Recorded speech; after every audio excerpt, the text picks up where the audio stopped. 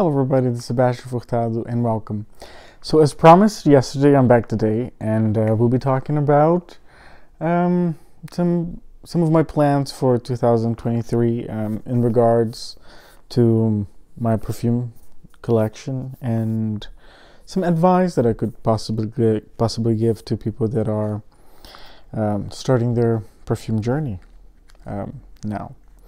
Um, but before I start, um, just like to share with you what I was wearing today. Uh, was a sample. I got a bunch of these. This is the Cartier Baiser Volé Parfum. Uh, this was launched last year, and I love the Baiser Volé line. It's a very beautiful Lily of the Valley scented perfume. I have the classic Eau de Parfum, but I'm just gonna spray a little bit more on my hand because it's faint now. Um, I love this. Oh my goodness, this is. It's very much like the Eau de Parfum, but it's denser. It's not as green. It's smoother. It's creamier. And I get something smoky in here, actually, this time. This is some. It's not as clean as the classic Eau de Parfum. There's something slightly smoky here that's very interesting, actually, that I do not detect on the Eau de Parfum. So I have a list for this year, and this is in it. And also Chanel Coromandel. I, I fell in love with that perfume recently, and it was just the right time for me to fall in love, I guess. And I just, I'm, I'm over the moon with that perfume, so I will get a bottle of it. But as far as right now, that's pretty much it. Just those two. I don't have any desire to buy any other perfume at the moment. So, and that it's something that I will get back in a couple of minutes. So, if we haven't, if I haven't mentioned this before, I started collecting seriously about 13 years ago. That was when I moved to Canada and started working, making my own money. And then I was able to buy whatever I wanted. And I've made a bunch of mistakes back then. Shouldn't call them mistakes, but um, it was the process of learning. Um, I always, like growing up, I was always leaned towards my mom's perfumes over my dad's. Um, you know, my dad wore mostly like very classic men's perfumes, like uh, Azzaro. My mom also wore Azzaro, the, the one with the brownish kind of bottle with a black cap. Azzaro pour homme. Um, my mom wore that for a while. My dad also wore that, and but my my dad also wore Paco Rabanne, the one with the green bottle for men, Armani for men. So he only wore perfumes for men. But my mom always wore um, men's perfumes and also women's. And I was al- always liked her style of perfume more than my dad's. Um, so when I started, you know, buying my, my perfumes, I went a lot with male um, marketed scents like Bleu de Chanel, Allure, um, Chanel, the one for men. Um, what's the other one? Many, many other many many others for men. And i do enjoy them. I i, I really like how they smell. But they just don't match with my personality. And that was something that i would only learn over time because and with a lot of trying.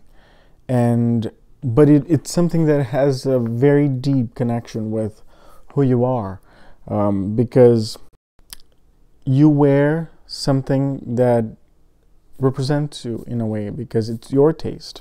It's the same thing as the, the clothes you, the clothes you choose to wear. It's a representation of your style, of your taste. And I read this somewhere, I cannot remember where and who, whose quote this is, but um, your scent is the closest that someone will get to know you without knowing you. Um, and it's so true because when someone sees you, you know, like, okay, you probably, like, let's say I'm, I'm wearing a suit. Oh, yes, like I'm wearing a suit because I'm at work and this is the attire that is expected for me to wear at work. But my scent, it could also be something that I wear because it's in a workplace environment and it's I think that this is what is acceptable, but there's also a choice behind it. So from wearing a suit, a suit's a suit. I mean, the, the big difference between suits is the cut and, and fabric and things like that, which a lot of people don't really pay a lot of attention to to those details, but they are very much um, there and they mean a lot. um, but the scent, it, it's there is even more of a personality in in, a, in the fragrance you choose, because you're putting out there, you know, I like this, I want to smell like this, and so people can know a little bit. Oh, you know, if if you're into florals, then okay, she, she likes florals, and like it's it's a very interesting topic, and so my I was going to tell many advice. No, just I have one advice only to give. Discover yourself. Discover um, your taste. Discover the things that um, give you pleasure. Um, scent, I don't see it as being something to be noticed. I know a lot of people wear for that, and I don't have anything against it, but my perception of what fragrances are is it's you should wear what gives you joy, what gives you pleasure, what connects with you, who you are as a person. And that's very, very important.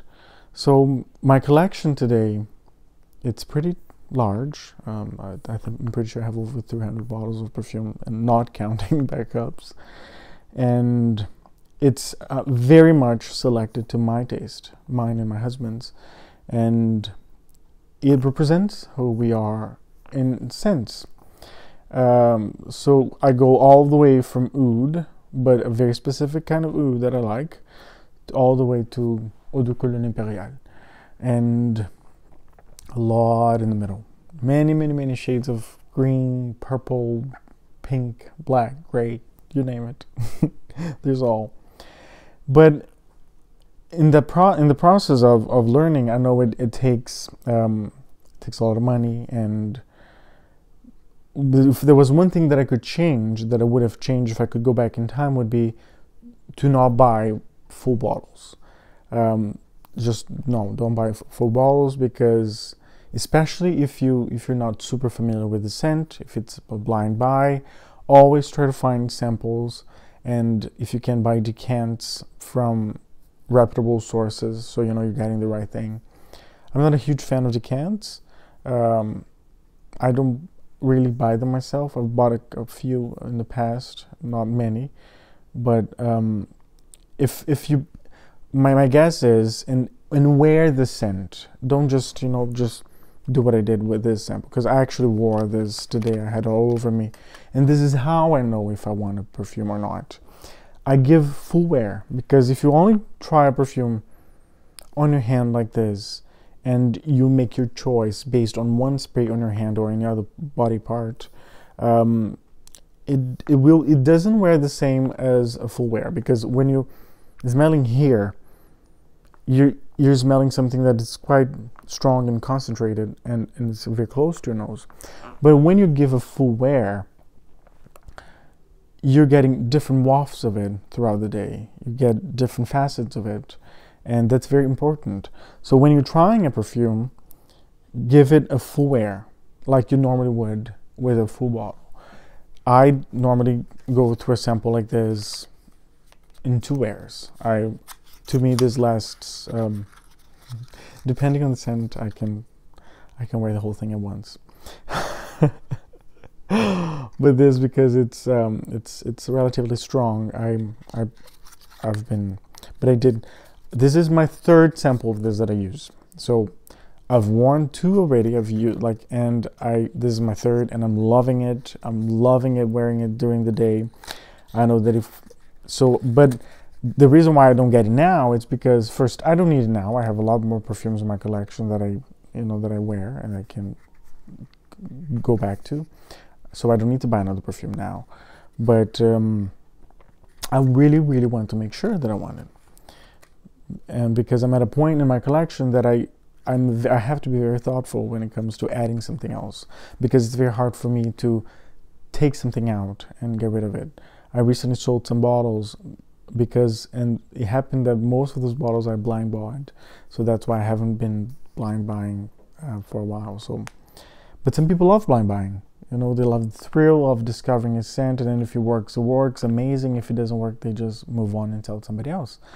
It's it's great. You know, like people that love that thrill. I think it's awesome, but unfortunately, it's not my style, not my cup of tea. Because to me, I think that I would lose.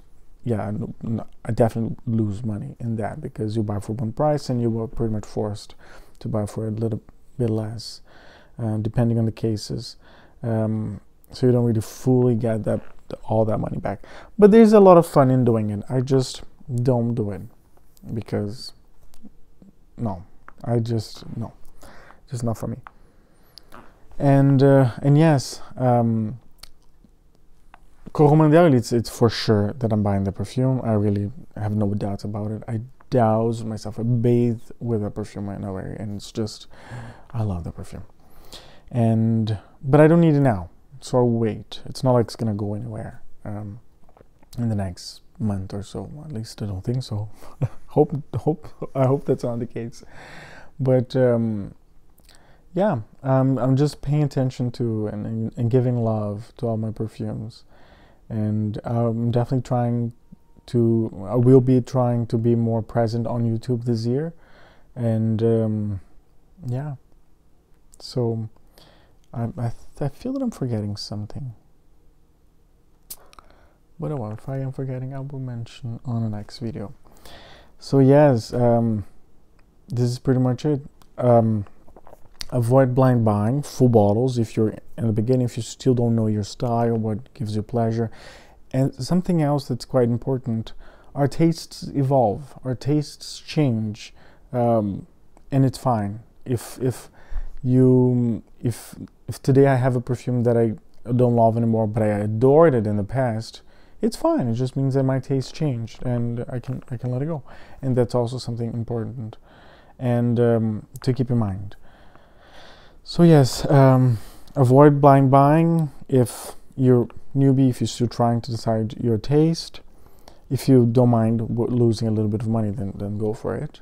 Um, and if you find that it's easy to resell, um, try to find samples. I prefer the um, official samples from the brand but if if not available then I would try to go for a decant and yeah give full wears when you're trying a perfume because that's when you really get going to get to know what that perfume smells on you not just on your hand because it's a, it's a very limited uh, testing I find. And have fun along the way. Try everything that you possibly can because it's a beautiful be beautiful hobby and I love it. And it gives a lot of pleasure to me and to also a lot of people around me. So thank you very much for your time, your attention, for spending time with me, and I hope you have a wonderful morning, afternoon, day, evening, night, wherever you are in the world. And the world needs more beauty lovers. Bye.